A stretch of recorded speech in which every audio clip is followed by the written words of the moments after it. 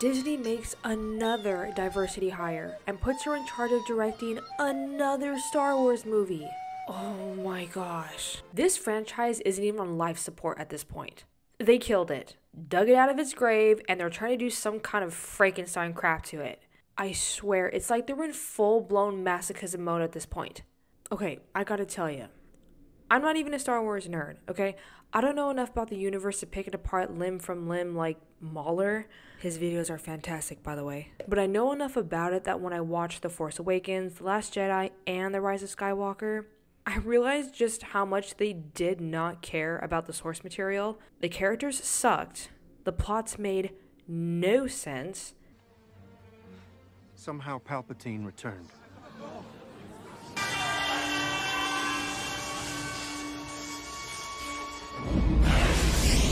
Somehow Palpatine returned. And that it was money and time that I'm never going to get back. Let's jump back in time just really quick to another Disney project that was directed by a woman about women, and it was so good because it was about women directed by a woman. You guys remember the Marvels? no, of course you don't, because no one watched it.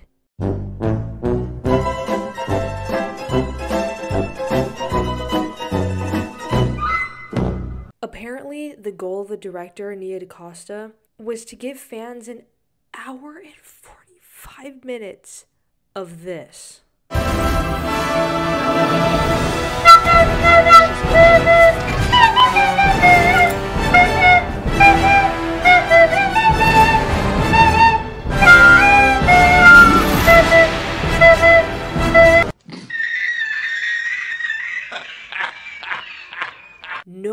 Even wanted the six seconds of the scene. Why on earth would you greenlight an hour and 45 minutes of this? How long will you play Captain Marvel for? I don't know. I don't know. Does anyone want me to do it again? No.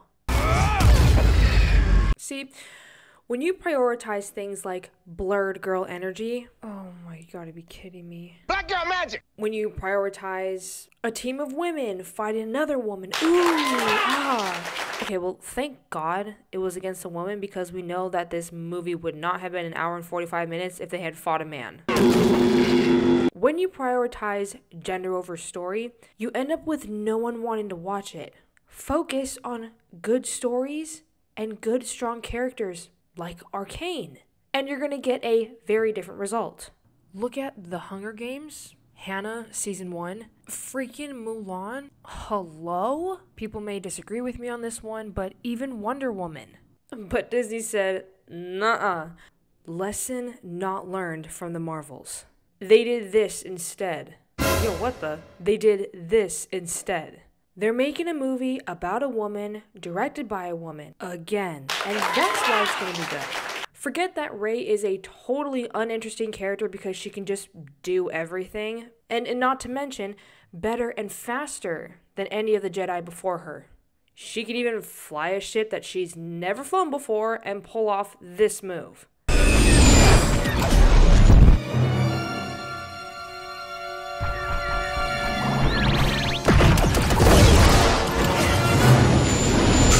Okay, I know Jedi are strong, but I've never seen them do something like this. I definitely know this never happened before.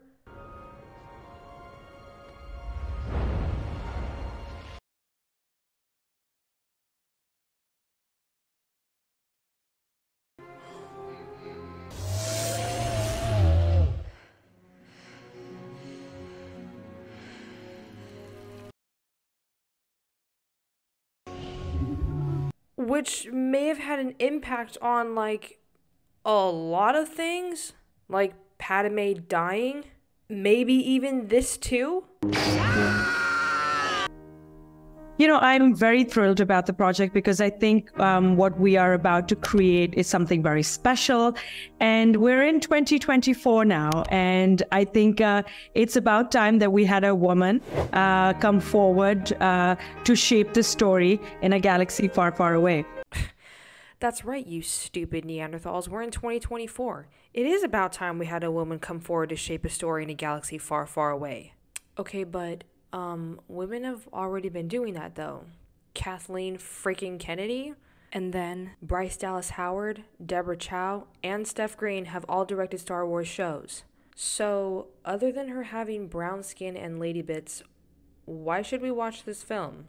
Will there be a story? Will there be some characters with at least some depth for Pete's sake? Both men and women love the old Star Wars because even though it takes place in a galaxy far, far away with aliens, the Force, and whatever this thing is, because at least on the human level, they can relate to them. The characters weren't these untouchable, naturally amazing, never morally struggling, can just do everything better, faster, stronger than anyone ever before, ever.